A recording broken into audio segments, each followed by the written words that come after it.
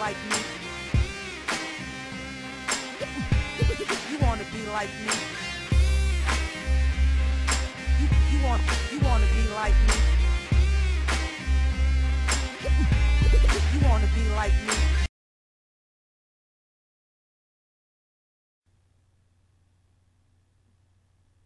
Um, hi YouTube. Um, day four of the Pink Ribbon Project.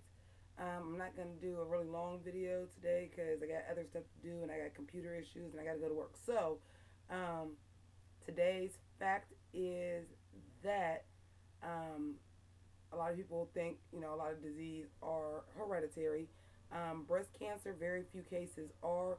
It's only between 5 and 10% if someone in your family has breast cancer that you'll inherit that. So that means everybody is at risk.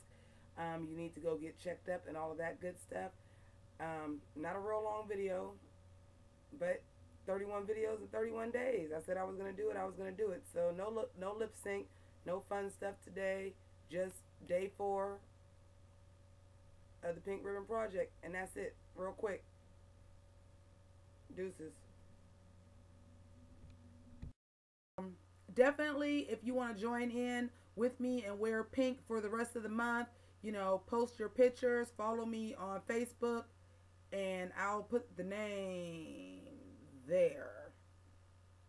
Jamaica jane pink dobbs that's at facebook. And then i will put twitter Jimmi Pynk there. Hashtag pink ribbon project. So